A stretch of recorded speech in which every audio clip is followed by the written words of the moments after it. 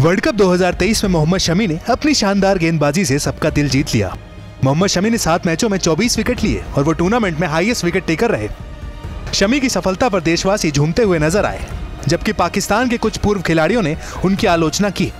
अब शमी ने पाकिस्तानी खिलाड़ियों पर निशाना साधते हुए कहा है कि वो उनकी सफलता को पचा नहीं पा रहे हैं। दरअसल वर्ल्ड कप में शमी को शुरुआती मैचों में खेलने का मौका नहीं मिला था। बांग्लादेश के खिलाफ मैच में जब हार्दिक पंड्या चोटिल हो गए, तब टीम संयोजन में बदलाव हुआ और शमी को शार्दुल की जगह शामिल किया गया। शमी ने न्यूजीलैंड के खिलाफ अपने पहले मैच में ही पाँच विकेट लिए। इसके बाद उन्होंने पीछे मुड़कर नहीं देखा। शमी ने इंग्लैंड, श्रीलंका और साउथ अफ्रीका का बुरा हाल किया। इसी बीच पाकिस्तान के पूर्व क्रिकेटर हसन रजा ने एक बेतुका बयान दिया। उन्होंने कहा, आईसीसी शायद भारतीय तेज गेंदबाजों को अलग अलग गेंदे दे रहा है, इसलिए वो इतना मूवमेंट हासिल कर रहे हैं। शमी इस बात पर ध्यान देने वाले पहले भारतीय क्रिकेटर थे। उन्होंने साजिश की थ्योरी की आलोचना करते हुए सोशल मीडिया पर स्टोरी लिखी थी। और अब वर्ल्ड कप के खत्म होने के बाद एक पॉडकास्ट में उन्होंने हसन रजा सहित उन तमाम पाकिस्तानी खिलाड़ियों की आलोचना की, जिन्होंने टीम इंडिया पर सवाल उठाए थे।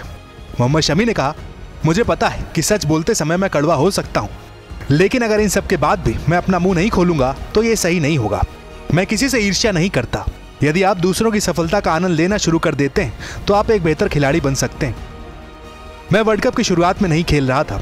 जब खेल रहा था, तब पाँच, चार और उसके बाद लगातार पाँच विकेट लिए। कुछ पाकिस्तान के खिलाड़ियों को ये बात हजम नहीं हो रही तो मैं क्या करूँ? मोहम्मद शमी ने आगे कहा, उनके दिमाग में ये बात बैठी है कि हमारी टीम, यानी पाकिस्तान, भारत से बेहतर है। भाई, बेस्ट वो होता है जो समय पर सही प्रदर्शन करे। आप बिना किसी कारण के विवाद पैदा कर रहे हैं कि तुम्हें गेंद या कुछ अलग मिल रहा है। किसी और कंपनी की गेंद मिल रही है, तमाम तरह की बातें आप कर रहे हैं। सुधर जाओ यार।